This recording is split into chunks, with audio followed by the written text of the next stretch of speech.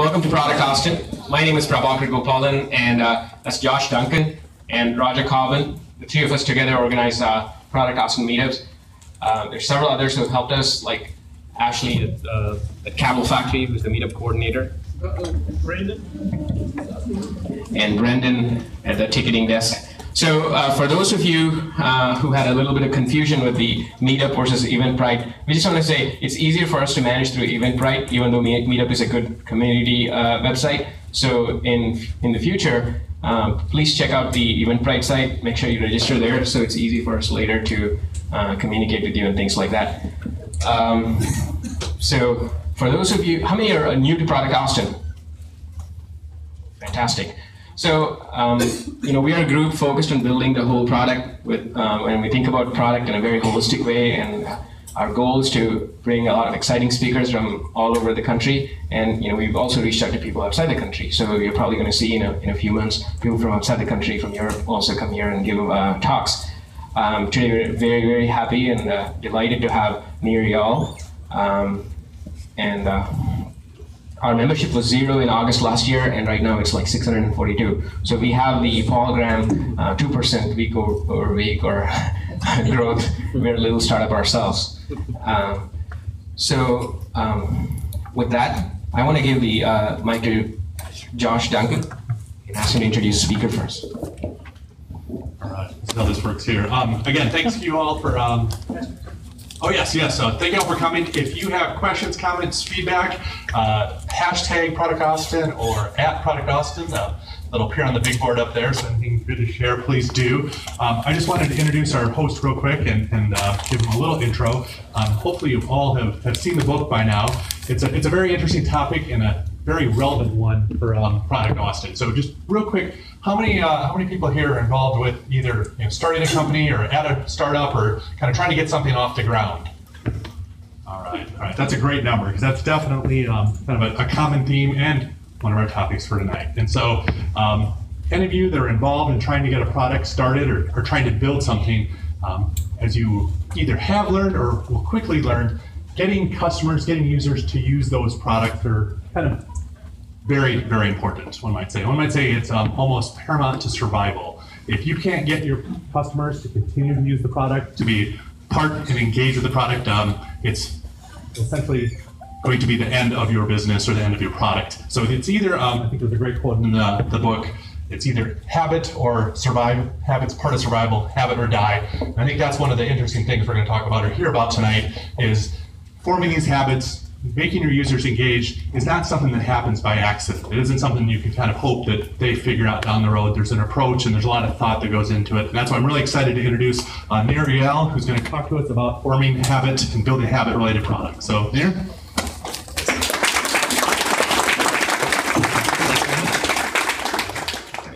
Um, you know, can you hear me in the back if I just, uh, you can hear me all right? Okay, so I'm just not going to use the mic. Um, hi, everybody. Good to see you. I, uh, am a big fan of Austin. I don't come here very often, but every time I do, I've, I've been here one other time and loved it, so I'm really glad to be back. Thanks for coming out. Thanks for uh, coming in. By the way, if you don't feel like standing, I'm totally cool with you sitting down here if you want so that you don't have to get tired there on your feet.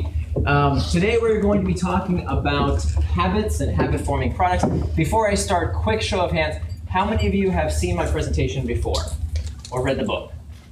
Okay, not not too many of you. Fantastic. But uh, what I want to do, you know, I, one of the things that I hate uh, going to see when you see an author that just wrote a book and they and then you go see them talk and they basically like read the book to you. I don't want to do that because you can read my book for yourself. You don't need me to recite it for you. You know how to read. But what I'd like to do is to kind of give a, a, an overview of the model. I'll give you kind of an overview of the work I've done uh, over the past three years or so on habit forming products. But then I want to leave plenty of time. Uh, about half the time I want to leave for Q&A so that I can hear from you what kind of challenges related to user engagement you're facing, what's keeping you up at night, so we can really dive in. Does that, does that sound okay? All right, terrific. So let's let's get to work here. So if there's one thing we know about these gadgets that are in our pockets these days, about these little uh, technologies that we're all carrying around with us, is that the technologies we, we use, the products we use, have a profound impact on our day to day behaviors, on our day to day lives. And so, what I've done over the past several years is to look at patterns, is to try and identify what it is about these products and about these specific companies that can so profoundly and quickly change users' behavior. One of the first patterns that emerged in my research was that I found that these products tend to follow this pattern of starting out as a toy. They start out as these products that are frequently dismissed. People just kind of slough them off and say, oh, okay, that's a feature of somebody else's product, no big deal. And yet, within the span of a few short years, maybe five to ten years, these products are touching the lives of hundreds of millions, if not billions, of users. And they're making hundreds of millions, if not billions, of dollars. So, who am I talking about? What companies come to mind when I give that description? Who do you think of? Twitter. Twitter, yeah, huge IPO that, uh, this past year. Who else? Instagram, yeah, 12 people, 18 months, bought for a billion dollars by Facebook. And now that actually seems like nothing, right? Who, who did Facebook more recently buy? WhatsApp. WhatsApp for $22 billion. This little silly messaging service, right? They picked up for $22 billion. Well, I'll give you 22 billion reasons why habits matter. Because part of why that company is worth so much, why that company was acquired for that much money, is because 74% of people who have downloaded that app use it every single day. Talk about the tremendous economic value of a company that creates these habits. And there's other companies as well, right? There's Pinterest, and there's um, there's uh, in the enterprise space a company like Slack, fastest growing enterprise company in history, and there's others that we see these repeating patterns form time and time again. And so that's what I want to share with you today. Now, uh, I've been working on this book for the past three and a half years. It just launched in November. It made the Wall Street Journal list. We're very happy about that. I wrote it with Ryan Hoover. Anybody? Oh, thank you for the one person in class. Appreciate it.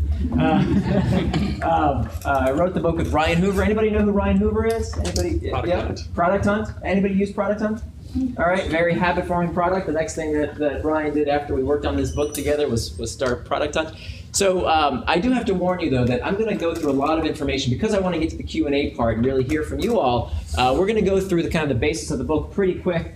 It's a 250 page book. I teach the content of the book pretty much in a class at Stanford, at the Design School and the Graduate School of Business at Stanford. It's a three week course, so we're going to condense a lot into a little bit of time. But this is a very smart crowd, so you, you'll keep keep up. But if you have any questions, just you know wave your hand and we can stop and, and, and chat for a little bit. So before we really dive in, let's make sure we're all on the same page about what is a habit. A habit is defined as a behavior done with little or no conscious thought. These impulses that we feel throughout our day to do these behaviors with little or no conscious thought. And it turns out that about half of what we do every day, day in and day out, whether you like it or not, is done purely out of habit. These behaviors done with little or no conscious thought. Now, I believe that we're on the precipice of an age where we can use habits for good, and I'm not alone. Because today there's an explosion of companies that are using the psychology of habit design to help people live happier, healthier, more connected, more productive lives, and that's what I want to help you do tonight. So here it is. Here's the pattern that we find endemic to all sorts of habit forming products. These behaviors done with little or no conscious thought. It's called the hook. A hook is defined as an experience designed to connect your user's problem to your solution with enough frequency to form a habit. Connecting your user's problem to your solution with enough frequency to form a habit. And we find that through successive cycles, through these four steps, this is how customer preferences are shaped, how tastes are formed, and how these habits take hold. So we're going to walk through these four basic steps tonight. So every hook starts with a trigger. A trigger tells the user what to do next. It prompts our next action. And these triggers come in two types, two flavors, if you will. We have our external triggers, and we also have internal triggers. External triggers you'll be very familiar with. These are things in our environment that tell the user what to do next with some kind of information in the trigger. click here, buy now, play this, a friend telling you about this great new app that you should really try out, all examples of external triggers. We in the product development community, we know all about these external triggers. You know, we as consumers know all about these external triggers. We see them every day. But what product people don't consider enough, and what turns out to be absolutely critical to forming these long-term habits, is establishing an association with an internal trigger. Internal triggers are things that tell the user what to do next. They prompt the next action, just as reliably as those external triggers, but the information for what to do is not in the external trigger, but instead informed through some memory, some association in the user's mind. So, what we do in response to being in a certain place, a certain situation, a certain routine, around certain people, and most frequently when we experience particular emotions, dictates what we do next. Dictates these behaviors that we do with little or no conscious thought. Now, the most frequent internal triggers are not just these emotions, but a specific type of emotion. I'm referring to negative emotions. So, what we do when we're feeling lonely or sad or dissatisfied or fatigued or powerless or lost or confused, what we do when we experience these negative emotions dictates the solutions we look for. There's one thing the brain is really good at is pattern matching. So, whatever can provide relief to these pain points, that's what we turn to time and again with little or no conscious thought. Now, some of the research that shows this is the case comes to us from a study that found that people suffering from depression check email more. Hmm. I think about that for a minute. Why would that be? Why would people suffering from clinical depression check email more? Well, it turns out what this study found was that people suffering from depression experience what psychologists call negative valence states. They feel down more frequently than the rest of the population. And what are they doing to boost their mood to get out of that negative valence state? They're checking their devices. They're going on email more frequently than the rest of the population. And of course, we all do this to some degree, don't we? What website or what app do people check when they're feeling lonely? Where do, where do people go? It's Facebook, of course. Where do people go? Where do we go when we're feeling uncertain? Before we scan our brains to see if we know the answer, what do we do? We Google it, right? And what about when we're feeling bored? You know, between 2 and 4 o'clock in the afternoon, you have that big project you don't feel like working on. Where do you go? Where do you go? you go to Reddit, you go to YouTube, you go to check sports scores and stock prices and fashion magazine. Right? There's all these solutions for this internal trigger of boredom. We don't like this sensation of boredom. It's a negative valence state. It feels bad. And to get out of that negative valence state, we turn to these solutions, to these products, with little or no conscious thought. So, what do we do with this? It's a bit of, uh, oops, I'm sorry. You guys were behind. That's okay, sorry. So, what do we do with this? I told you that this was about creating products that help people, that enhance their lives, that, that help people live richer lives. So, how do we build products to improve people's lives, knowing about the importance of attaching to these internal triggers? Well, it fundamentally comes down to understanding what is your user's itch. That far too many of us in the product development community, we're really good at building for the functional requirements of our products, but we fail to consider the psychological requirements of what our products do for our users.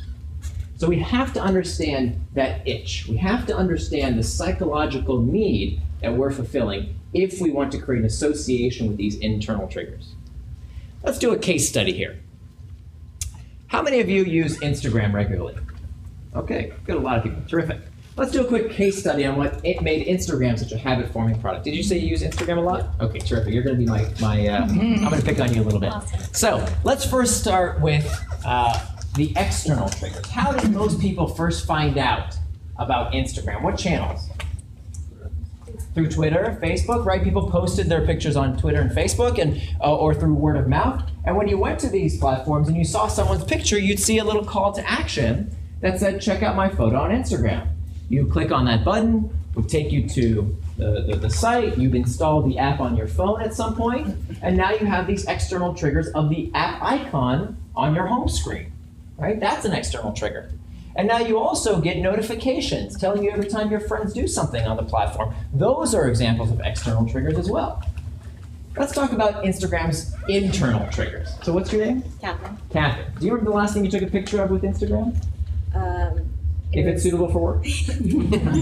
well, my last post was at TBT um, because my my roommate from college is moving to Austin. Oh, okay. And you took a picture of her? Her and I Oh, the two of in you. college. Oh, okay. So posted that. And did your roommate say, take a picture of me with Instagram? No. No, she didn't say that, right? So when people take pictures of other folks or of a sunset or what they're eating, very rarely does someone say, hey, take a picture of me with Instagram, particularly if it's just your plate of food, right? but why do people have this association that instantly, when she wanted to capture this moment, when you wanted to hold on to this moment in time, the solution was Instagram. The solution for this fear of losing this moment forever was Instagram.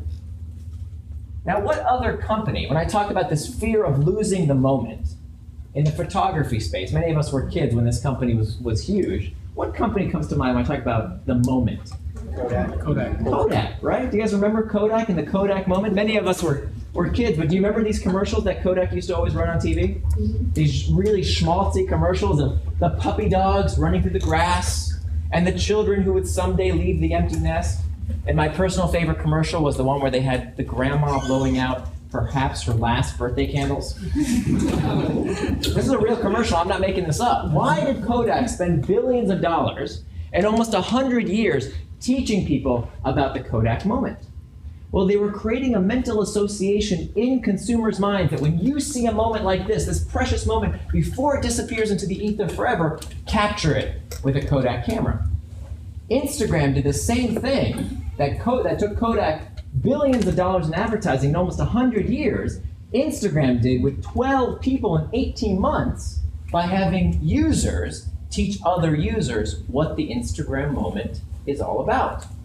But of course, Instagram does things that the Kodak camera never could. So the more users use a product like Instagram, the more they pass through the four steps of Instagram's hook, the more they begin to associate using the product with other internal triggers. When they're feeling bored or lonely or feeling FOMO. What's FOMO? Fear of missing out. It's actually in the Merriam-Webster dictionary as of last year. It's a real word, FOMO. We don't like this sensation that we might be missing out on something. Fear doesn't feel good. And the alleviation of that fear is found with this device in our pocket, with this app that we can easily access. And that fear suddenly disappears. Okay? There's that tight association. Make sense? All right. So that's a very, very quick introduction to triggers. There's a lot more to be said in the book about triggers and how to find your user's internal trigger. But let's move on for the sake of time to the next step of the hook is the action phase. The action phase is defined as the simplest behavior done in anticipation of a reward. Simplest behavior done in anticipation of reward. I'm going to show you some habit forming products, and I want you to see just how simple these actions are. You ready? What could be simpler than just scrolling on Pinterest? Just that act of scrolling. Or how about searching on Google? Or what about just pushing the play button on YouTube? Right? These extremely simple actions done in anticipation of a reward. And it turns out that there's a formula for predicting the likelihood of these singular behaviors. It comes to us from a researcher at Stanford by the name of BJ Fogg, who posits that for any human behavior B, any human behavior, three things are required at the same time. Sufficient motivation, that's the M. Sufficient ability, ability is how easy or difficult something is to do. And a trigger must be present. We just talked about those triggers. So think about the power of this formula. For any human behavior, offline, online, doesn't matter. Any human behavior requires sufficient motivation, ability, and a trigger. We already talked about triggers, but let's talk about motivation and ability. So, motivation, according to Edward Deci, who you see here, the father of self determination theory, Deci tells us that motivation is the energy for action, how much we want to do a particular behavior. Now, this is an area of psychology that the researchers have been arguing about for decades and decades, but Fogg gives us these six basic levers that we can pull on to increase someone's motivation. Because all of us, as human beings, we seek pleasure, we avoid pain. We seek hope, and we avoid fear. We seek social acceptance, and we avoid social rejection. So every bit of advertising you've ever seen, every billboard, every television commercial utilizes one or more of these six key motivators of human behavior. A lot more to be said about motivation, but let's move on to the A in B equals MAT. A stands for ability. Ability is how easy or difficult a particular behavior is to do. And here again, we have these six basic levers that we can pull on to make a behavior more likely to occur based on how, making it easier or more difficult to do. How much time something takes, how much money something costs, how much physical effort is required. Brain cycles. This is a big one when it comes to technology products because the harder something is to understand, the less likely that behavior is to occur. Social deviance says that we become more likely to do something when we see other people like us doing it. And finally, non routine says that we become more likely to do something simply for the fact that we have done it before in the past. And this is why habits are such a big deal. Because the best predictor of what you will do in the past and what you will do in the future is what you have done in the past. Why? Because the more we do a particular behavioral pattern, the more we do a particular action, the easier it becomes and therefore become more likely to do it in the future. What do we call that? What's that called? It's called practice, right? The more we do it, the easier it gets, the more likely we are to do it in the future. So Fogg puts together these three basic elements of motivation, ability, and triggers on this graph that's really useful in a product development context. If you're building a product, you're building a website or an app or a service design, whatever it might be that you're building, and you want people to do things, and darn it, they're not doing it right? People aren't clicking, they're not doing that particular behavior that you want them to do. You can ask yourself Does the user have sufficient motivation? High motivation, low motivation. Does the user have sufficient ability? If something is easy to do, it's way over here. If something is easy, if, if something is hard to do, it's way over here. So easy, hard. If the user has sufficient motivation and the behavior is easy enough to do, they cross this blue threshold, and if a trigger is present, the behavior will occur. Every single time. Online, offline, doesn't matter. Any human behavior. Let's make this concrete. I want you to think of a time in your life when a phone rang. Think of a time a phone rang in your life and you did not pick up the phone. Give me a reason why you didn't pick up the phone. Just shout it out. Didn't know the number. You didn't know the number. All right, so you're thinking it's a telemarketer, somebody you don't, maybe it's somebody you, you know, you're suspicious of, you don't want to pick up the call. That's an example of low motivation. So even if the call, the phone is right there next to you, high ability, very easy to pick it up. Even if you heard the phone ring, the trigger was present. If you lacked motivation, you didn't cross the threshold, and the behavior does not occur. What's another reason why you may not pick up a phone? Because your hands are You're in the shower. Terrific. So you're in the shower. Even if you say to yourself, oh, I really have to pick up that call, high motivation. Even if you heard the phone ring, the trigger was present. If it was too difficult to pick up the call, if your ability was way over here because you got to dry off, run across the house to get the phone, you lacked ability, you don't do it. Eh, that's okay. I'll call back later. What? What's that? If you don't like. Okay, great. So that'd be motivation. That'd be low motivation. What's a reason that has to do with the trigger? Reason that has to do with the trigger. to Nira talk. You're okay. So you're, maybe you're listening to me talk right now, and you put the phone on silent, right? You put the phone on silent, and even if you really wanted to take that call, high motivation. Even if the phone was right there next to you, you had plenty of ability to pick up the phone. You didn't hear the phone ring, and no trigger was present. I can't tell you how many times I meet with companies in my consulting practice, and they call me in for these big, expensive design reviews, and they show me every step of the user flow, and I look at them and I look at the user flow, and I say, Where's the trigger? What do you want the user to do here? For every human behavior, we always need sufficient motivation, sufficient ability, and a trigger every single time. Every click, every move, every action. Okay? Every single time. Let's take a, another case study here. How many of you use Twitter? A lot of Twitter users? Terrific. Tweet this. That'd be great. But at, maybe after. So let's take a look at Twitter over the years and see how Twitter has evolved using these principles of motivation, ability, and triggers. Here's the Twitter homepage back in 2009. Take a good look. Twitter homepage 2009. Here it is in 2010. And here it is today. What's different? What do you see that's changed over the years? The layout. Yeah, what about it? Uh, yeah, more graphics. What else? What's different when it comes to motivation, ability, and triggers? A lot less calls to action. You notice this? Like, I don't know if you can see it there in the back, but back then, not only was there all these this text, right, but there was also all these triggers around. Look, so what? When you clicked on what, it would take you to a different page to tell you all about what. And if you clicked why was a trigger, and how was a trigger, and watch a video is a trigger, sign in is a trigger, click here is a trigger, click here is a trigger, and get started join a trigger. That is a ton of cognitive load for the user to figure out what the hell you want them to do. And in all three cases, what has always been the intended action? What does Twitter want people to do on this page? Sign in or sign up. That's always been the intended behavior. And what Twitter figured out was by clearing the cognitive load, by making it easier for the user to just understand what you want them to do, they became more likely to do that intended behavior. Right? They were more likely to sign up, they would convert, and then go through the four steps of the hook. Now I know what someone's thinking. I bet that guy right there who just raised his hand, I know exactly your question. He's gonna ask me, yeah, but Nir, back in 2009, people needed to be told what Twitter was for, right? People needed what, why, and how, and watch a video and all that. Was that your question? It was, wasn't it? Nailed it. Mine too. Yours too.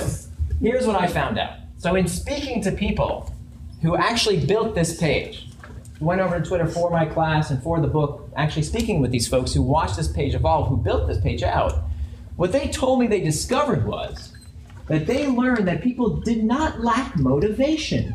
That even back in 2009, nobody came to Twitter by mistake. Nobody typed in twittr.com and said, oops, what's this? that happened never. What they discovered was that even back in 2009, people intended to come to Twitter for a reason. They heard about it on the news or on Oprah or a friend told them about it. They had plenty of motivation. They didn't have to convince them to boost their motivation even higher. All they had to do was to increase their ability, make the intended behavior easier to do, and they could increase conversion and send people to the four steps of their hook. Yeah. Yes, um, under ability, what was the, um, uh, the two lines that you had that were, uh, non-routine and social deviancy? What, what are they? Yeah, what, what does What does that that mean mean? So social deviance says that we become more likely to do something when we see other people like us doing it. I'll give you an example. Okay, I was in a Starbucks in San Francisco where I live, uh, and I went to the restroom, and I go to the restroom, and there's two two restrooms. There's a men's room and there's a ladies' room, and the men's room is is uh, uh, empty, but the ladies' room has a line of three ladies waiting to use the restroom. Right? Men's room is empty. It's single stall, by the way. There's not you know only one person can go in this restroom at a time. So the doors. You know, I, I check with the men's room, and I kind of feel bad. These three women have been standing here for I don't know how long, and they got to go just as bad as I do. And there's an empty bathroom that just happens to say men on it. Well, I look at the three ladies and I look at the first one in line and I say, you know what? Nobody else is in there. You've been standing here longer than I have. Why don't you go inside the men's room? She says, thank you very much. She goes inside. She comes out of the men's room. Who's next to go into that men's room? Me or the second woman in line who'd been waiting before I got there? The second woman in line. But what happened? All of a sudden, she saw that someone like her, another woman, broke the seal. Now it's okay. That's social deviance. Now it's no longer deviant for me to do that behavior. When I see other people like me doing something, I become more likely to do it as well. Okay, what was the other one? Non-routine. Non-routine is this concept of practice. Simply for the fact that I have done it before in the past, the myelin around my neurons in my brain have now make this behavior easier to do over time the more I practice it, and it becomes easier to do over time. Yeah, sure. Yes. I appreciate that in nine, that there were multiple calls to action, didn't really need that because Right. of word of mouth and organic marketing, people heard of it. For other companies that are startups in the area that people don't know or haven't heard of, how do you deal with multi-channel calls to action? Right. So the lesson here is not, hey, everybody build a landing page just like Twitter. That's not the lesson, right? That's too specific. The lesson here is how can I take the intended behavior, no matter what that intended behavior is, and reduce the cognitive load. Make it as easy as possible for the user to do the thing I want them to do. You would not believe how just small changes in interface can greatly affect the likelihood of a behavior occurring. So that's that's really the lesson here. It's not make a landing page like this. It's what is in your user's way among those six elements. What's in your user's way that makes that behavior difficult to do, and how can you make it easier? How can you increase the user's ability? Okay. Yeah.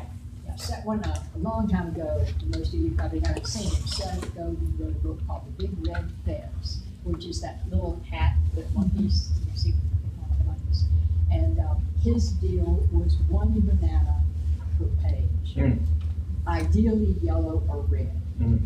And leave it at that. And the book is a classic. It's, Right. it's still circulating out there, and he took the task major companies. Right, that made right. you go through jump after jump after jump with no bananas Right. uh, at all for you. Yeah, yeah. I mean, it's, it's, it's kind of common sense, right? Keep it simple, stupid, right? We all know the KISS uh, you know, acronym. It's, it's for some reason hard to do when it comes to tech products because our product can do so much, right? The mm-hmm. user needs to know about it because we can do it. So we should put all these features and buttons everywhere, right?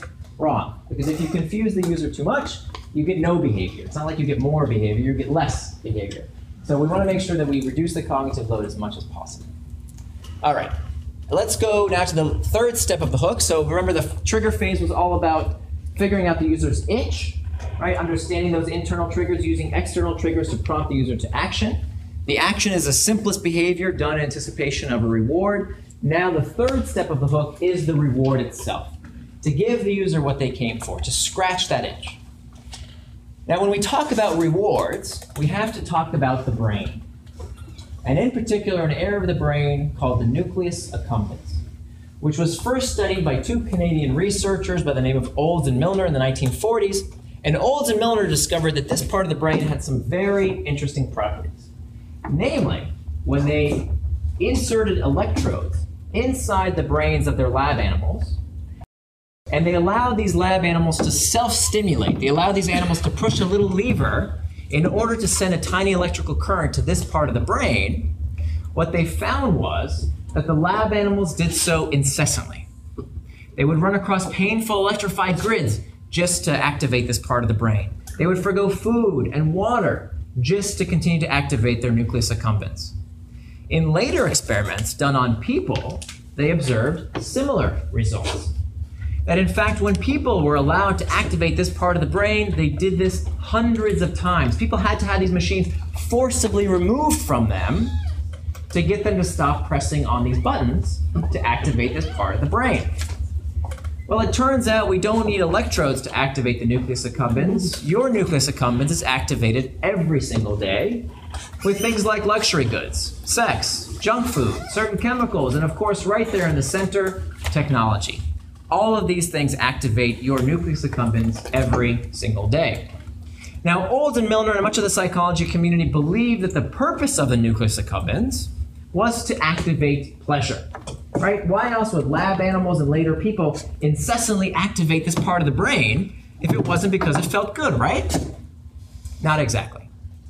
It turns out that what we now know about how the brain prompts us to action is not by creating pleasure per se, but creating what we call the stress of desire.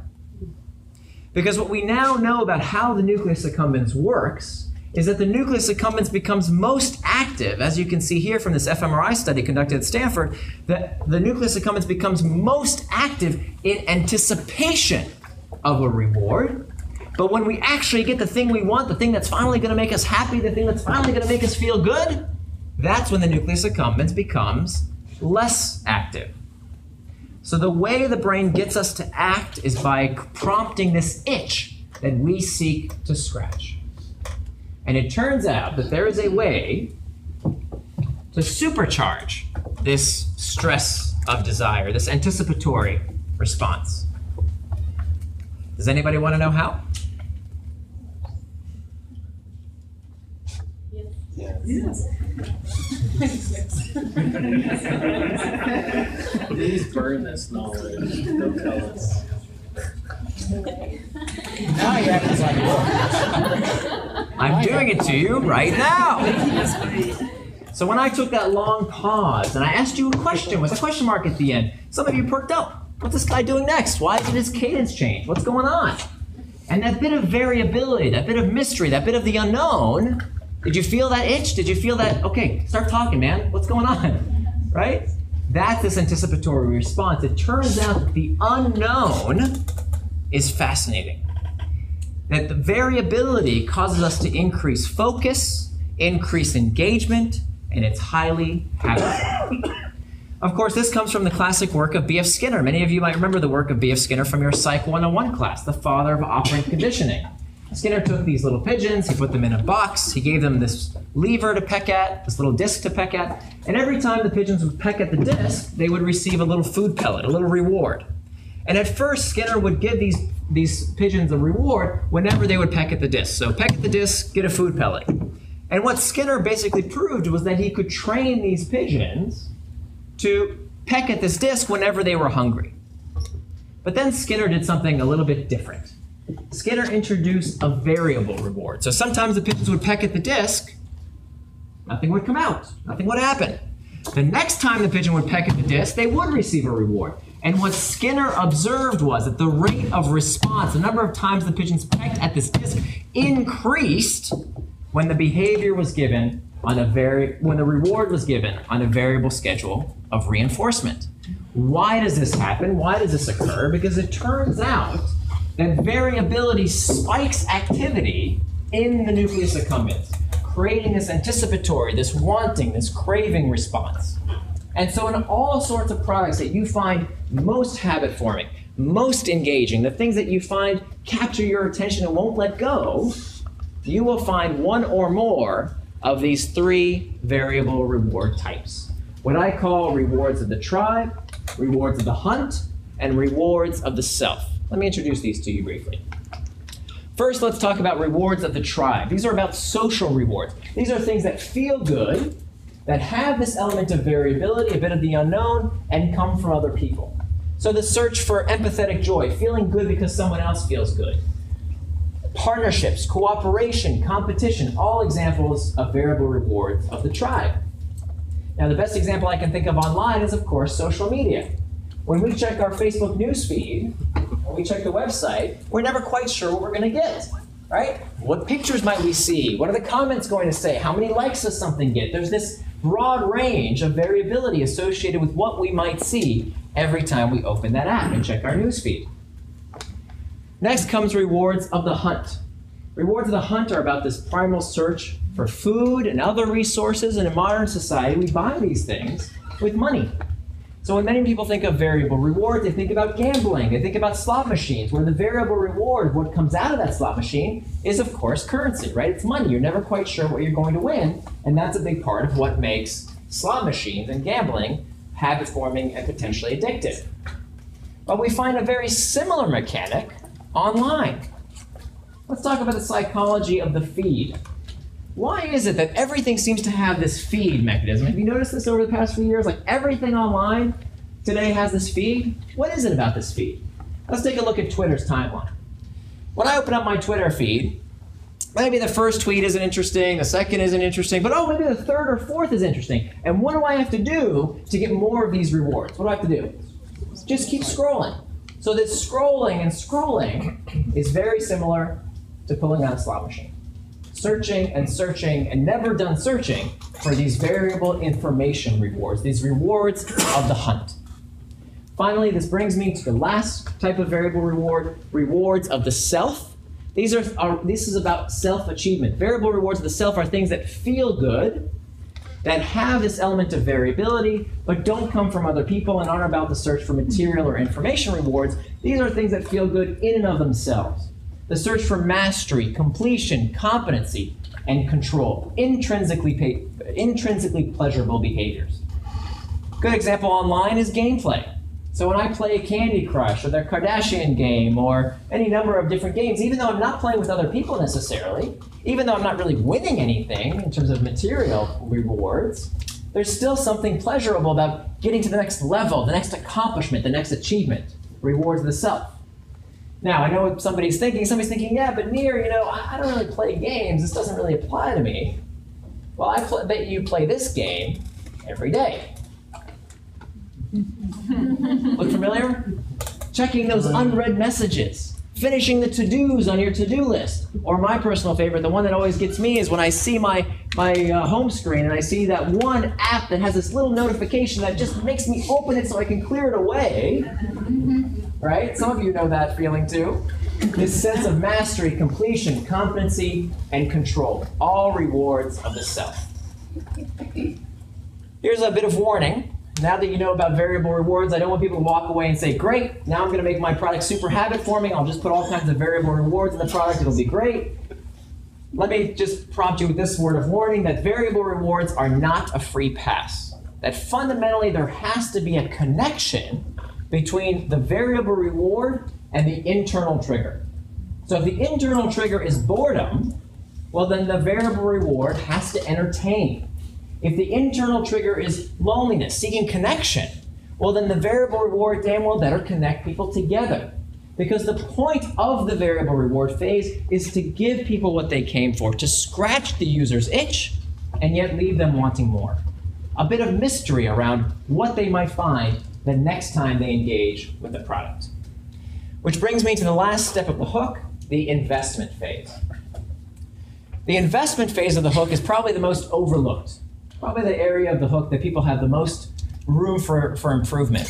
The investment phase is where the user puts something into the product for a future benefit. It's not about immediate gratification. That's what the action phase is all about, immediate reward. The investment phase is about a future benefit. It's something the user does to put value into the product for a future benefit. The point of the investment phase, what the investment phase does, is increase the likelihood of the next pass through the hook. And it does this in two ways. The first way that investments increase the likelihood of the next pass through the hook is by loading the next trigger. So, for example, when I use WhatsApp or any number of other messaging services, and I send someone a message, there's no immediate gratification, right? I don't get any points, I don't get any badges. Nothing really happens when I send someone a message. But when I do that, when I invest in the platform by sending this message, I'm very likely to get a reply. And what comes in every reply? This little jewel icon, which is an example of an external trigger prompting me to use the product again and pass through the four steps of their hook. Okay? So the first way that investments increase the likelihood of the next pass is by loading the next trigger. The next way that investments increase the likelihood of the next pass is by storing value.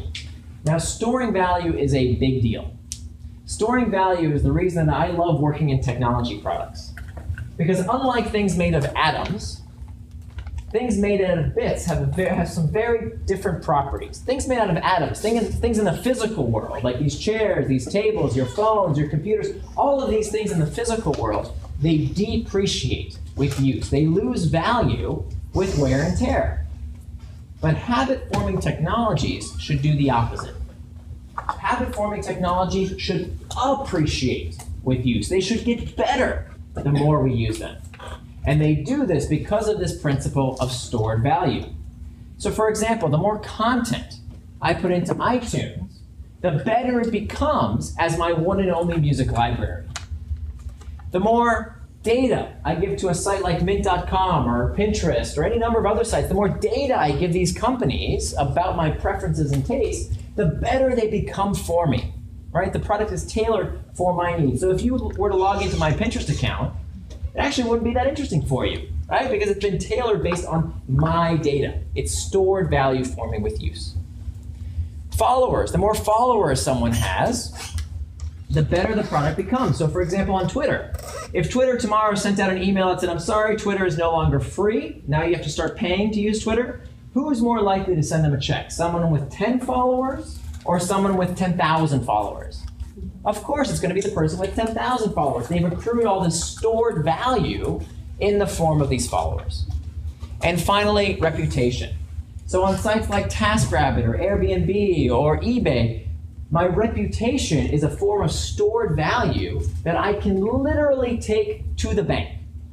because my reputation on these platforms dictates what I can charge for my goods and services. And how likely am I to leave one of these platforms after I've accrued all this value in the form of my reputation? It's kind of hard to do, right? It's kind of hard to leave. It's all of a sudden sticky. Even if there's a, a, a, another competitor that comes out, yeah, but I've stored all this value in the form of my reputation. So that's it. That's the four basic steps of these hooks. These experiences designed to connect your user's problem to your solution with enough frequency to form a habit. And it's through these successive cycles, through these hooks, that user preferences are shaped, that tastes are formed, and that these habits take hold. Now, that was a lot of information. I told you it would be. I condensed a lot of information into a very short period of time. There's a lot more information in the book. It's a 250 page book, uh, so you can always go check that out later. But here's the most important slide. Here's if there's one slide that, that I'd like you to remember, it's if you're trying to build a habit forming product, if your business model depends on habits, here's the five fundamental questions you need to be able to answer. Number one, what is the internal trigger that your product is addressing? What's the user's itch? Number two, what's the external trigger that gets your user to the product? Number three, what's the simplest behavior done in anticipation of a reward? And how can you make it simpler? Is the reward fulfilling and yet leaves the user wanting more? And then finally, the investment. What's the bit of work the user does to increase the likelihood of the next pass? Now, before we take some questions, there's one more thing I'd like to talk about, and that is the morality of manipulation. Because I'm guessing that some of you during this presentation were thinking to yourself, you know, is this okay? Is this is this kosher to do to people to use their hidden psychology to change their behavior in ways they may not necessarily suspect? And if you had that reaction, bravo. I think that is the appropriate response to learning about the psychology of habit design. Because let's face it, folks, anytime we are designing a behavior for our users to meet our ends in mind, that is a form of manipulation. So we have to be very careful about how we apply these techniques because the technology that we're building are the tools and products that people take to bed with them every night. It's the first thing people reach for in the morning before they even say hello to their loved ones. And as Ian Bogost said, our technologies are quite possibly becoming the cigarettes of this century. So, what responsibility do we have as product designers, as engineers, as entrepreneurs, as investors? What responsibility do we have to use the psychology of habits for good? Well, I encourage you to find one of the world's problems to fix. You know, that is one thing that we have no shortage of. I encourage you to use the psychology of habit design to help people live happier, healthier, more connected, more productive lives by using habits for good. I encourage you, to borrow from the words of Gandhi, to build the change you wish to see in the world. Thank you very much.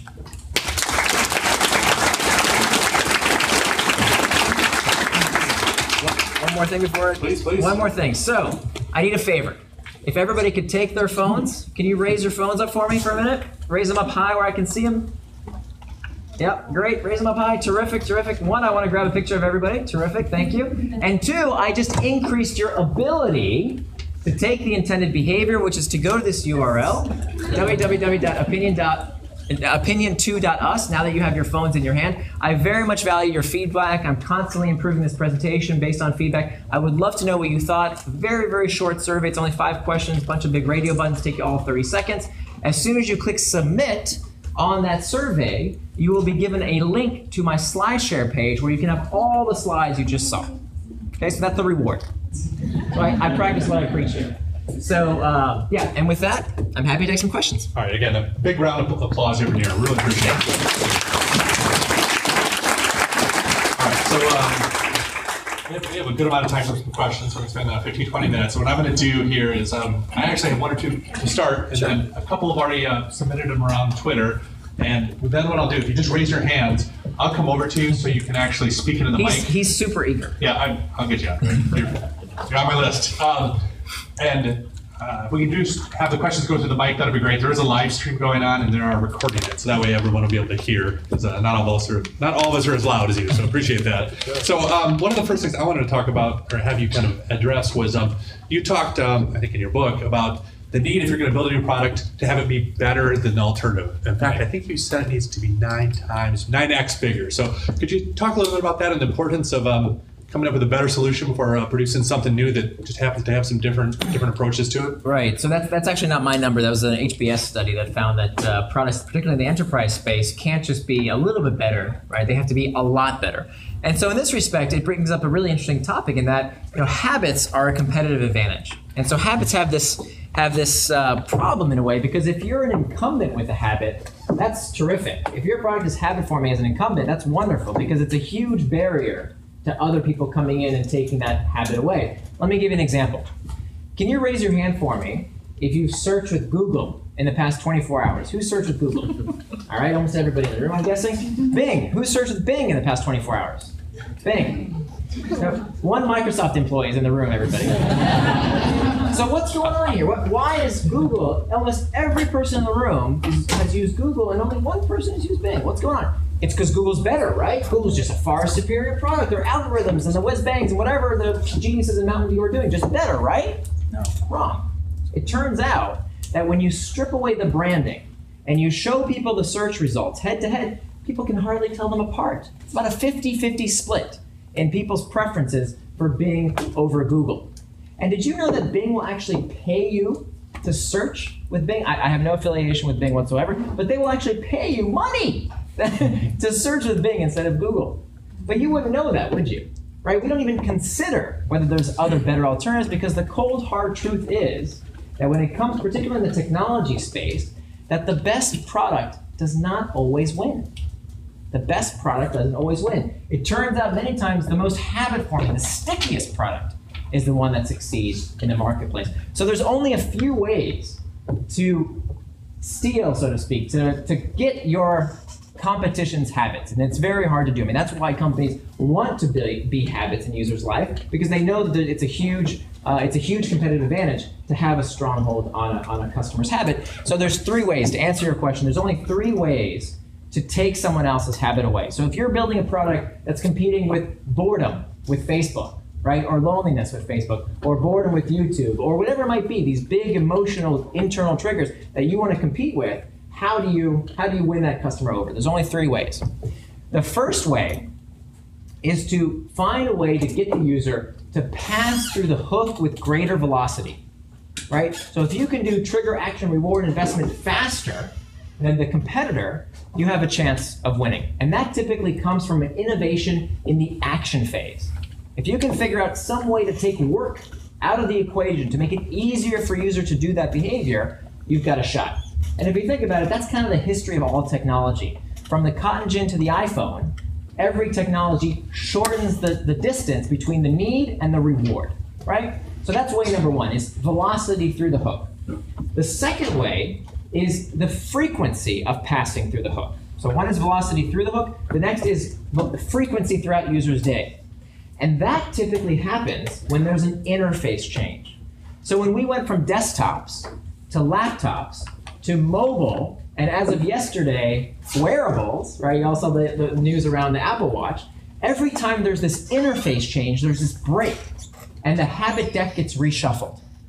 And all the habits we had on these past interfaces now need to port over to these new interfaces. And these new interfaces, you notice what's happening is that technology shrinks, it becomes more portable, and now we have the opportunity to do these behaviors throughout our day. And that's why a company like Facebook, for example, had to buy Instagram, had to buy WhatsApp because it was a product that was used more frequently throughout the user's day and was starting to suck away some of those habits that were taking place on a, on a product like Facebook. So number one is velocity through the hook. Number two is frequency of passing through the hook. And number three is making the reward more rewarding. And it needs to be a lot more rewarding. The reward needs to be more rewarding. So that third step of the hook, the variable reward phase, if you can make a product that is somehow significantly more rewarding, scratches the user's itch better than your competitor in a significant way, there you have a chance again, of, of capturing that habit. Let me give you an example. Uh, how many of you use Snapchat? Snapchat users? Okay, good. A lot of you. Terrific. I want you to put yourself in the mindset. I want you to imagine that you have just received a message. Two, I'm sorry, two messages at the same time. Two messages at the same time. One message just came to you from Facebook, from uh, Messenger or something. So you've just received a notification from Facebook. The next message at the same exact time is from Snapchat. Somebody just sent you a Snapchat notification. Which one are you going to open? Snapchat. Why? Why? Facebook will be there. Facebook will be there, and it's probably your Aunt Matilda on Facebook at this point, right? It's not that interesting. As opposed to Snapchat, what's special about a Snapchat message? It disappears, right? And what happens to my discretion as the sender around what I'm going to send when I know that message is ephemeral? Well, I'm more likely to send things that are flirty, that are silly, that are funny. And now all of a sudden, the receiver gets the reward that is suddenly more rewarding. So if I get two messages, one from Aunt Matilda on Facebook or from somebody I've been flirting with on Snapchat, where's the reward more rewarding? And so that's of course why uh, Zuckerberg offered a billion or three billion dollars for Snapchat and was rebuffed. All right, awesome. Uh, next question here. You, you mentioned this at the start there. Um, enterprise applications. Yeah. We talked a lot about Snapchat, about Instagram. There was one of the one of the questions on Twitter, and it's also on my list too, of some of your favorite examples of you know, B2B enterprise type apps that kind of follow the framework uh, that you'd said as good examples to study. Right. So um, first and foremost, not every business needs a habit. Okay, so this is not magic pixie dust that applies to every business that you sprinkle on and you'll have you know a, a huge uh, billion dollar unicorn. It's not the way this works, and that's good. That's a good thing. Not every product needs a habit. You can create a lot of value. You can create a great company without a habit. You just need to figure out another way to bring users back. So you can bring users to your company through advertising, through search engine optimization. Heck, you can have a taco stand, right? You can have a physical storefront to bring people to your place of business. However, if your company requires unprompted engagement, if your product requires, the business model requires habits, just like the companies we talked about earlier of Facebook and Snapchat and Instagram and WhatsApp and Pinterest and, and companies like Slack and GitHub and Stack Overflow, these companies require habits. They would go out of business if they had to pay for advertising to bring people back time and time again. So that's the first test. Does your product, whether it's enterprise or consumer, actually need a habit? If you don't, there's still a lot to be learned from consumer psychology. That's still great. There's a lot you can figure out to make the transaction easier, a lot from consumer psychology you can take away. You just don't have to do it all. Now, if your product needs a habit, whether it's enterprise or consumer, then you have to do it all. Then you have to have all four steps of the hook. So in the enterprise space, there's many companies in the enterprise space that just don't need habits. For example, if your product is sold top down to some committee, right? If it's you got to go meet with the IT people and then you got to go in front of the IT committee and then they buy your product and they tuck it into some server farm somewhere and they never actually use it, you don't need habits, right? That is this is not helpful for that type of product. However, if you're the type of enterprise company that's building the usage base from the ground up, think GitHub, think Salesforce, think uh, Slack. These companies that are building products where the frontline employees use the product, then the manager would say, hey, everybody's using this product, where do I send my check? Then the same rules apply. Doesn't matter if it's enterprise or consumer, the habit formation process is exactly the same. So I wrote an article actually about Slack as, as a great example of a company that's doing really well nowadays uh, as the fastest growing enterprise app in history because of how uh, effective their hook is. So that's one that, that comes to mind. But of course, there's others as well. All right, great. Now, last Twitter question. I'll start circling the room here. And uh, you already somewhat brought it up. Um, it was thoughts, uh, especially in the vein of maybe addictive habits on the, the Apple Watch and, and wearables. Yeah. So um, I think I think that because of that interface change, there's going to be several multi-billion-dollar opportunities. Hopefully, maybe somebody in this room will figure it out. Uh, created by this new interface change, because you know if you think about it, um, does anybody know how old the App Store is? The Apple App Store. How old is the Apple App Store? Seven years. It's about seven years old. Think about this 2008. Okay? 2008. You, you all remember 2008, right? That wasn't that long ago. And yet, think about all the behaviors that in 2007 we could not have foreseen that have now become part of our daily habits, our daily routines, since just seven years. That's nothing, right? That's a blink of an eye. So, what's going to happen in another seven years? Right? What's going to be possible? What triggering opportunities might suddenly be available to us with this new interface. There's going to be a lot of interesting things created because now there's new triggering opportunities that occur more frequently throughout the user's day-to-day life. So I, I think it's going to be, I don't know if it's going to be Apple, you know, the, the first Apple Watch or the second Apple Watch or the Google Watch. I don't know who's going to win or what apps at this point are going to be the big winners. It will for sure have a profound impact. It's coming. It's inevitable. As will Google Glass. I mean, people kind of think Google Glass is gone and forgotten. This iteration, you know, these ideas tend to, to come back up after a few years. We know either it's going to be in our generation or our kids' generation or our kids' kids' generation. There will be some type of heads-up display interface. It's coming at some point. and every time there's that interface change, there's new habit-forming opportunities. Yes, eager gentleman back. There you go. Uh, Nir, thank you so much for sharing this knowledge with us. Thank you. My question is in regards to strategies, right? Um, in particular, when we're dealing with uh, difficult personas, or we have just like one website page and we're dealing with a multitude of different profiles there, how strategies for dealing with that? Of examples, right? For example, buttons consumer wise, they do better, for example, in green, right? Or something that is aligned to your brand. Right. Versus in a B2B space, orange button seems to be prevalent, right? How do we resolve that when I have multiple personas in there? Yeah. Or let me give you a little bit more complicated situation in B2B. You have the C suite, so CXO browsing your page, and this is the buyer's journey, right? So we're solving for that. And then we have the CFO that is looking for particular keywords or positioning in the page versus the CMO is looking for other words or other you know elements in there. How do we go about resolving other than you know uh, the end approach or I do this for the uh, the or approach, right? I do this or that. Right. Ideas around that. Well, first of all, what, what's wrong with testing? Testing works great. I'm just saying that I have one page and I want to maximize the impact for everyone involved, right? Right. So uh, I would like you know more than just choosing one out of the DAB methodology.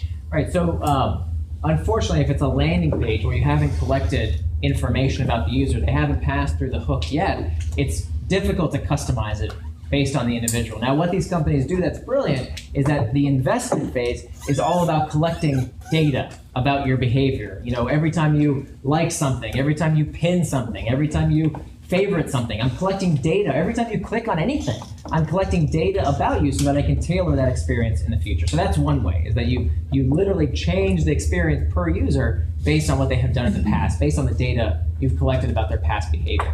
Now, that being said, you know, a lot of these questions, I, I get sometimes questions of, you know, what's the right color or what's the right, you know, how, how should this look? And many times those type of questions are things that should just be tested. So does everybody know the lean startup methodology? Who's heard of lean startup? Pretty much everybody these days, right? Like Eric Ries and Steve Blank. Does everybody know the three steps of the lean startup methodologies? What are they? Build, build, measure, learn, right? We all know build, build, measure, learn. That's a heck of a lot better than how we used to build software, right? We'd stick a bunch of engineers in the room, in a room. We'd say, okay, you can come out in six months when you're done. They'd put a product in out of the world. Sometimes it was a year. Sometimes it was always over budget and, and over time. And uh, typically nobody wanted to buy that product. But now we're enlightened, right? Now we do lean startup. Right now we ask people what they want. We do customer development to hear what they want. But my contention is that that's not good enough. We still have to do that. We still have to do build, measure, learn. We still have to test. What I want to do is to help entrepreneurs have some kind of framework to help them deal with all the consumer psychology which drives user behavior in ways they can't articulate. There's all sorts of things that drive our behaviors, but the consumer could never tell you drives their behavior. And so this is a framework before you spend all that money on figuring out which feature we should build, right? Because remember, the most expensive part of build, measure, learn is what? Where does all the blood, sweat, and tears and money all go? Building, right? The building is the expensive part. Measuring and learning, that's fun and easy.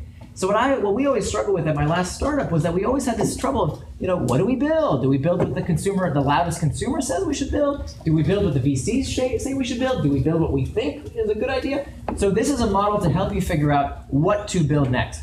It doesn't mean you, you, you can get away without testing. You still have to do build, measure, learn. The idea is that based on this methodology, by plugging your experience through these hooks, you can figure out how to build the right thing sooner and hopefully save yourself a lot of time and money. So, do you think you'd be able to give an example of one specific use case or one specific case in which you implemented a strategy that had an overwhelmingly ex- exceptionally positive result? For example, a question that you did not expect to have such an, a large impact on a user study or something of that sort. Uh, well, there's so there's there's a lot of folks that. Uh, wait, what do you mean the last part? I, got, I thought I understood your question. Then the last part I didn't understand. What do you mean a question? So I'm saying it's like a very specific case of something that Somebody using the hook. yeah that's, Oh, that you didn't think that would have such a large impact on the trajectory of a product. Right. So um, the book only came out in November. Uh, it's still very, very new, and I, I work with several clients. Unfortunately, I, I can't talk about those specific clients or what we've done uh, with the user experience. Uh, it, it's been it's been good. I mean, my goal is to teach people the methodology and then watch them implement, which is terrific. I can't talk about my own investment, so I do angel investment. I look for companies that have the hook in mind. The best example as of late is uh, is Product Hunt. Uh, so Ryan Hoover was working at another company uh, before he, he, he started Product Hunt. He sent me uh, an email that said, "Hey, I, you know, I've been blogging and, and I put you on this list of 13 people I want to meet in 2013." So he had all these like you know people in Silicon Valley that he wanted to meet, uh, and, and and I was one of them. And I said, "You know what? I'm, I'm right here. Like, just come by. We'll we'll have a burger." And so we sat down together. And he said, "Hey, look, I really like what you're doing. I've been reading your articles on TechCrunch. Like, I really dig it. How can I help you?" And so he helped me take my my articles that were just you know blog posts and put them into this book and figure out where we were missing some holes and where we needed more case studies, etc. And then the next thing that Ryan Hoover does after helping me with the book is start Product Hunt. And Ryan Hoover and his team deserve all the credit, 110% of the credit they deserve for actually doing it. It's much easier to sit up here and pontificate about theories. They deserve the credit for actually doing it. But he used the hook model in mind in building that product. And of course, it's the toast of Silicon Valley these days. Uh, he was named, you know, Inc.'s uh, 30 under 30. Uh, Andreessen Horowitz just invested 6.2 million dollars. I'm also an investor in the company, thankfully. So that's an example of a company that implemented the hook and is, is doing very, very well. There's others, of course. Uh, there's a company I invested in called Seven Cups of Tea, which in was in the Y Combinator class a few weeks ago, uh, a few uh, a few classes ago. That's a company, a great example of a company that's doing um, good by creating these habits. So Seven Cups of Tea has these hooks built into it, and it's a company that is serving people who uh, need to talk. So it's it's trying to displace, it's trying to disrupt the psychotherapy market. So if you're a soldier with PTSD, if you're a parent of a child who has a disability and you need someone to talk to, as opposed to going to a therapist, think about think about that that uh, ability curve of going to a therapist. Who do I go to? There's social anxiety about going to someone. How do I schedule with them? Money is a factor. All these barriers. Well, this this this product, Seven Cups of Tea, with one push of the button, if you need to talk to somebody, you're instantly connected for free with someone who, who is, a, is a trained listener. Now, the kicker is that uh, they actually, the people who are the listeners were the people who were listened to before. In the process of becoming habituated to being listened to, you actually learn how to listen. And those are the people who get better. So by creating these hooks, by creating these habits in people's day-to-day lives, they actually found that they get better 80% as well as very expensive psychotherapy. So that's a great example, I think, of a, of a, of a hook doing good. What? Oh, sorry, Mike. So, um, engagement, effort, reward, and self. So, let's take all those concepts. And isn't it true that the science shows that sometimes requiring greater effort and engagement uh, ends up in a reward that is more satisfying and therefore uh, more likely to cause habit? Uh, so the, an example is what's called incongruity theory, where you confront somebody with something that they are not familiar with. And when you do that, it forces them to try to resolve the incongruity in their mind. And when they are able to do it, there's, there's a reward. Just the fact that they did it and they can take credit for having resolved that incongruity Right. There's a reward. How, how does that fit into So this? in the investment phase of the hook, there's this, this the whole idea of the investment phase is small bits of work that the user does to increase the likelihood of returning. And so we know it loads the next trigger, we know it has this effect of, of storing value. What I didn't talk about, it, I didn't have time to talk about in the presentation, but in the book, is the cognitive side of what's going on. And there's a lot of research that shows that when we put effort into something, when we invest in something, when we make it our own, we value it more highly. So uh, Dan Ariely calls this the IKEA effect. If you've ever gone to IKEA, you bought some some crappy table for 30 bucks and you build it, all of a sudden that crappy table, look what I did. Right? I made that table. And even though it's a crappy table, you'll take it with you from college to your first home to your second home because I made that table. Right? You put labor into it. You endow it with value. And that's kind of part of this cognitive side of why investments make us like things more. Hi, so you mentioned um, several products that solve um, user problems, but sometimes some of these products create derivative problems. Um, a good example, I think, is Facebook. Um, it solves social failures, but um, you know some would argue that it's created derivative failures um, and caused, for example, like younger users to consider other platforms. So, have you, has your research um, sort of address or evaluate some of those problems, and how have you seen um, companies Yeah. solve them? So I, I love this question. I think the, the morality question. Thank you for that question. This is uh, a super important topic. Let me let me tell you the two reasons I wrote this book. The number one reason I wrote this book is because as a product maker, I've, I've started two companies, and I remember how frustrating it is when you want people to do a behavior, when you want them to use a product that you know will be good for them. And for some reason, they won't use the product. That's extremely frustrating, extremely difficult. And so the first reason I wrote this book was to help entrepreneurs, was to help product people make products to help people form healthy habits. Right? The vast, I, I almost meet with, almost never do I meet with a company that says that comes to me and says, you know what, people are way too engaged with our product. How do we get them to dial it back? Right? That never, almost never happens. People are coming to me because they say, look, we have these healthy habits we want to form in users' lives. It's going to make their life better. How do we? But nobody gives a shit. How do we get them to engage? And so that's what the majority of this work is for. That's that's who I wrote this book for. However, I'll let you in on a little secret. The book is a bit of a Trojan horse. Because you buy the book thinking, how do I build habit forming products? But then you can't read the book and not ask yourself, wait a minute, is this being done to me? Like, how does this affect my life? Right? Are there hooks in the behaviors that, that I see myself engaging with with little or no conscious thought in ways that may or may not serve me? And so the second reason I wrote this book is because I believe the world is becoming a potentially more addictive place. And if we don't understand how these things hook us, if we don't understand that this is not an accident, that these things are designed to be engaging, if we don't know that, if we don't know the mechanics of how these things work, we can't do anything about it. We think it's us, and it's not. Well, at least it's not all of us. It's partially the fact that these products are optimized and studied to be engaging. So that's that's the second reason I wrote this book. And I am just as much of an advocate for creating healthy habits in users' life lives as I am for breaking hooks that don't serve us. So if you look at my blog at nirandfar.com, I constantly go between these two sides of here's how to create habits and here's how to break habits.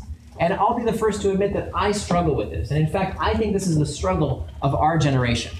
Because remember, you know, the last generation, so for when, when I applied to college, maybe some of you on the older side of the room might remember this. When, when we applied to college, every college would send us a brochure that said how many books they have in their library, right? Come to this school because we have 50,000 books. No, we have 60,000 books. Who gives a shit? Right? It's totally irrelevant today. That used to matter back then because universities and colleges were the keepers of information, right? But now information is not scarce right? We're drowning in information. There's too much information.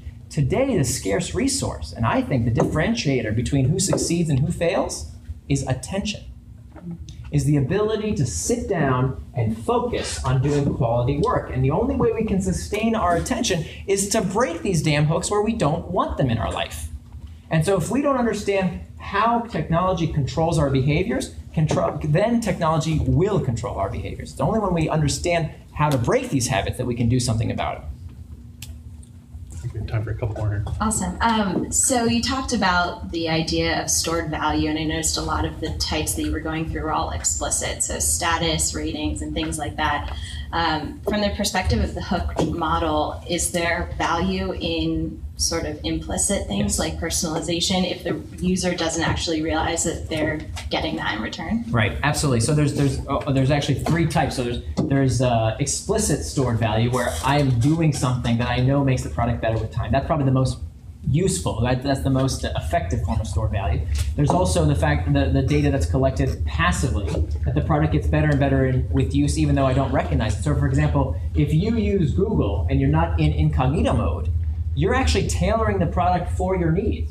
So if you go to incognito mode and you type in the exact same search query, you'll get different results because the data you put into the product based on your past search queries and what you click changes the product with use. It makes it better and better with time. Uh, and then, and then the, the, the third uh, form of, of user investment in work is when we see a computer doing work for us. I say computer to mean technology. There was this great study that showed that when you show people a progress bar. So they did this on a flight uh, search. Uh, I think it was on Expedia. They did this test where they showed this search bar that Expedia is looking and looking. You know, you've seen these before, right? Like progress, work is being done. When the user saw took time out of their search, right? When they were sitting there waiting for the work to be done, they were more likely to continue with that experience versus giving them instant results.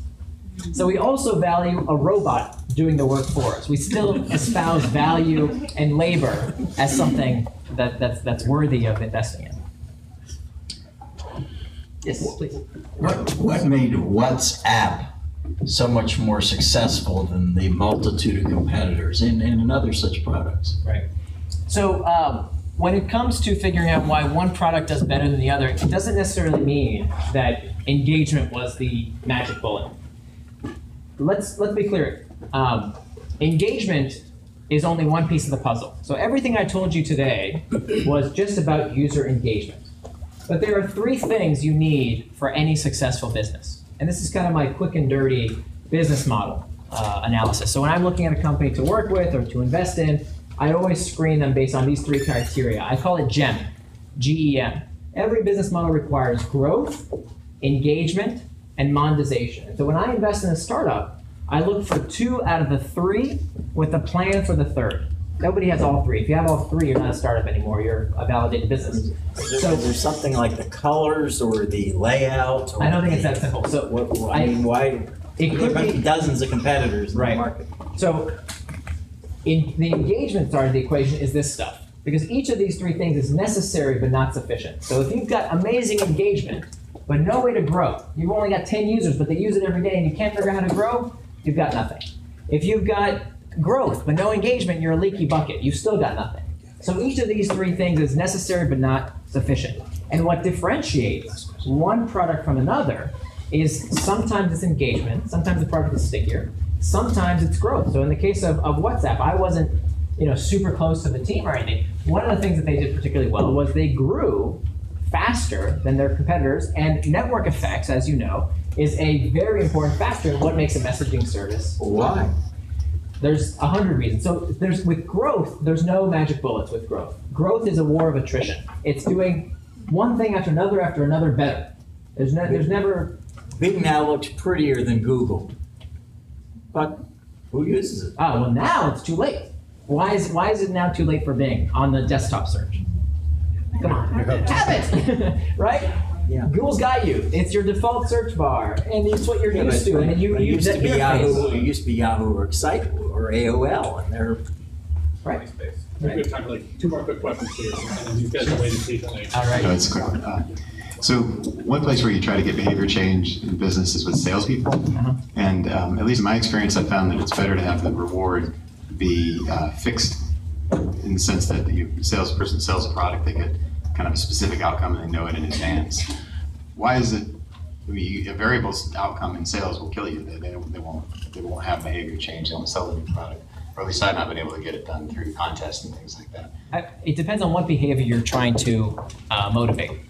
So uh, with the sales applications, and I'm, I'm no expert in sales motivation, so let me just say up front that it depends on what kind of behavior you're trying to incentivize. So if you're trying to, to incentivize uh, a behavior that is kind of uh, routine, right? It's the same behavior time and time again. Just do the same behavior time and time again. Uh, and, and it doesn't matter how fast you do it, just do the same. So pick up the phone and cold call again and again and again. That might not be an aspect uh, that, that, that drives, uh, that you necessarily need a variable reward for. Although I would argue that it's that thrill of the chase for salespeople, right? So the best salespeople that I've, I've met are the ones who love that hunt, the deal, the variability of can I close this this uh, sale. That of course is in their reward package, right? They make more when they sell more.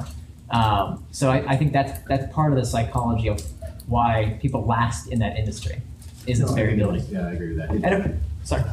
Well, it's just that, uh, but they, they respond better to a specific outcome than like a contest or something that is variable. Right. Like, I sell this, maybe I get a reward. Well, so that- that brings up I sell this and I know I get the reward, and I definitely, right. it's the latter case works better. So agency is a big deal. Agency is how much control I have over a certain situation. And if I don't feel like I'm in control of the situation, so uh, a lot of times people try and do gamification. Does everybody know what gamification is? Using game-like mechanics in non-gaming environments, and they put in points and badges and leaderboards. And this always happens when you put in a leaderboard. You get this amazing effect where the people at the top of the leaderboard super engaged. Everybody else doesn't give a shit. Why is that? Well, because if I'm not one, two, or three, what's my chances of being one, two, or three? This goes back to Foursquare. Remember Foursquare? What happened with Foursquare after a while is that if you couldn't be the mayor, if you weren't close to being the mayor, everybody else kind of gave up. I'm never going to be the mayor because that guy's always more, you know, coming here more than I am. And they gave up. Why? Because they lost agency. It was never possible. Even though it was variable, they didn't have any control over the situation. Yeah, my question's a little bit more tactical. We've definitely been able to, at the company I work for, implement a lot of the stuff in the hook model. I was wondering, as you advise companies, as you look and help companies, maybe it's product hunt, uh, the more triggers you build, let's say you start off with an external trigger and email, uh, the more unsubscribes you get. So how do you make sense of seeing uh, uh, incremental engagement improvement, but also on the flip side, you see people uh, bailing? Do you just say, forget you and focus on the people that are engaged? Yeah. So the, the first thing is to test like crazy, right? You can you can do A/B tests, you, and the best we know is to do cohort analysis. That's kind of the best of breed solutions is to do cohort analysis to see who sticks around, who stays engaged. But here's the rule about good triggers. So the difference between magic and spam is context. The difference between magic and spam is context. If you get a message that's not relevant to you, it's not it's spam. But if you get a message that's perfectly timed, wow, that's incredibly helpful. And so the, the rule here about sending effective triggers is the closer you can couple when the user receives the external trigger to the moment they feel the internal trigger. So if you can closely couple those, the closer those are together, the more magical it is, right? That's why the watch is going to be such a big deal because we're going to be able to trigger people in new ways based on geospatial location, based on heartbeat, based on all kinds of new information that we're going to get out of this device to closely tr- uh, to closely um, connect the external trigger with the internal trigger. Let me give you an example. Uh, last year, uh, the Yahoo News Digest won App of the Year. Now, a lot of apps are doing this technique, but they were one of the first news apps, and there's a thousand news apps out there. And every news app, many of them still do this, they believe that they should send you notifications every time there's breaking news. Right? The, uh, the theory is the old school mentality around news is news is important all the time. So you want to be informed all the time with another trigger telling you check the New York Times, check the New York Times, check the New York Times. Well, that turns out to be super annoying because sometimes I just want to work. Leave me alone for a little bit. So users were turning that off. Well, Yahoo News Digest, and there's another app uh, called Smart News that does this. There's actually several now that do this. They figured out that we're, ju- we're going to trigger users less, but we're going to trigger them just at specific times of the day. So they started sending triggers. When is a user most likely to want the to want to read the news? When are they most likely to experience the internal trigger of, "Ooh, I better know. I better need to know what's going on in the world today because at the water cooler at work, I don't want to sound like an idiot." That fear of being out of the know. When are they likely to feel that in their day? When they wake up, right? First thing in the morning. That's when we turn on NPR on our way to work. That's when we open up uh, a web browser to figure out the news. That's when people naturally go to the news because they feel this inter- internal trigger of fear of being out of the know. And so, when do they time that one external trigger of the day when the person wakes up. And they would modify it. They figure out when to send the external trigger, figure out what, when the behavior actually occurs, and they tailor it per the user. I understand. That's what I, that's the rumor I've heard. Mm-hmm. That they start figuring out when you're most likely to want to receive that external trigger based on that investment that you put into the app. All right, I think we're at the end of our time here, but again, um, really appreciate everything. And I had just one final question. So, for those of you that um, want to learn more, obviously the book's a great resource. I've actually read the book twice. I read it last year when the initial version came out, and then when they uh, published the, the hardcover. Uh, so, would highly recommend it. And um, I had some colleagues that last year went to the Hooked Summit, which they raved about. The Habit Summit. And they said it was just absolutely awesome. And I wonder if you would like to talk a little bit about this year's um, Habit Summit. Uh, so the Habit Summit is actually almost sold out. It's at Stanford this year. You're welcome to check it out, habitsummit.com. Let me uh, make one announcement. If you have a question, by the way, or if you want to, if you didn't get to ask a question, you want to have some one-on-one time, I actually uh, block uh, time in my calendar every single week for whoever wants to, you know, ask a question. If you've read the book and you something didn't make sense for you and you want to talk, just go to uh, nirandfar.com. At the top right-hand corner, it says schedule. You don't even need to email me. You can just book the time yourself, and we can chat uh, if you'd like one-on-one. Actually, you want to talk about the summit? When is the summit? Oh, the summit is uh, March 24th at Stanford. Thank you, Nir. Let's give him another round of applause.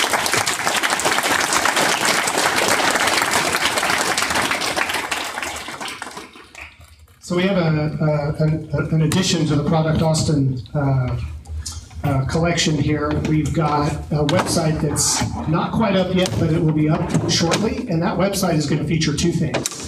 First thing it's going to feature is a recorded stream of tonight's event when it, once it's ready. And the other one is we've got another uh, Product Austin meetup coming up in a couple of months. We are skipping April, but in May, we are going to have Brian Balfour, VP of Growth at HubSpot and blogger at coelevate.com. So you'll also be able to uh, RSVP to that event through the Product Austin website. So, uh, as usual, after these events, we have an attendee survey, and we encourage you to take that survey. That will go out shortly after this event. And don't forget that you can validate your parking at the front desk. And finally, ah, our door prizes. So we were going to do the door prizes based on, uh, where we're going to have two door prizes. And one was going to be based on the best question for the speaker, and the other one based on whoever tweeted Product Austin the most. so I'm not sure if anybody has counted that, but maybe we should get to work on that one. Um, but as far as the best question, I think maybe Nir might. I know. Does anybody have any nominations for the best question? I liked her question. She had a best question. What about Mary? Mary. So, what do you think? Uh, do you think Mary should get the, the prize? Awesome.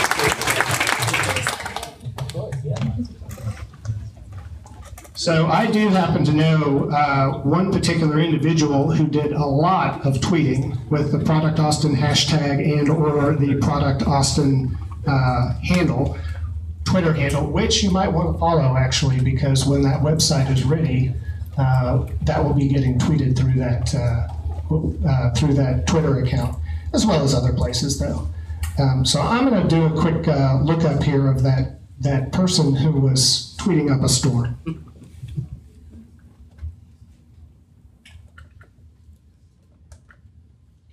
Vanity.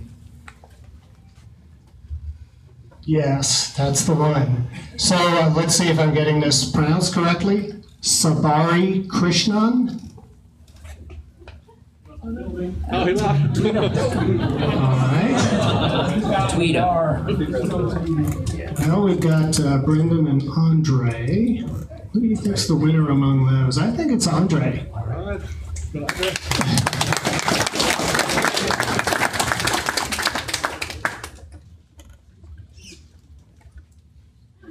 Good later. You'll, uh, I guess we don't have a copy of the book right now handy, but you'll get it. We'll get it. I was getting, I was hooked. I was hooked. Yeah, Your regular reward. All right, well, I think we're done, folks. Feel, feel free to stick around for a little while and uh, network if you like. Um, and again, look out for the announcement of that uh, uh, RSVPs for the next meeting.